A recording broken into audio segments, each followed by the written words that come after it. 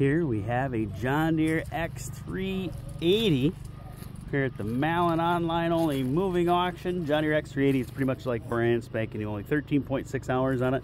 Bagger, a blower deal. And uh, Ben was using it to clean up the leaves around the yard here before he moves. And uh, boy, you talk about a good low hour unit.